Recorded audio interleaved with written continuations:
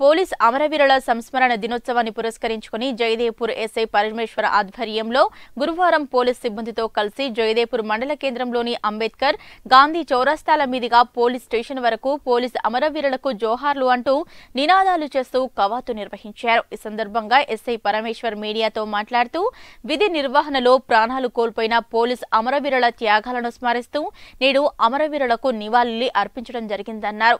Police అమరవీరుల త్యాగాన్ని గుర్తు చేసుకోవడమే కాకుండా వారిని స్మరించుకోవాలని కోరారు. అమరుల స్ఫూర్తితో పోలీసులు అంకిత భావంతో విధులు నిర్వహించాలన్నారు.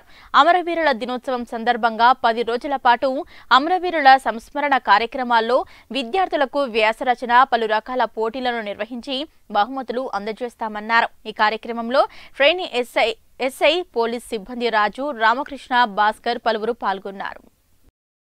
సంవత్సరం లాగే ఈ సంవత్సరం కూడా October twenty first police police అమరవీరుల దినోత్సవాన్ని పురస్కరించుకొని ఈరోజు జయదేవ్పూర్ మండల పోలీస్ స్టేషన్ పరిధిలో మా పోలీస్ సిబ్బందితోటి ర్యాలీ నిర్వహించడం జరిగింది.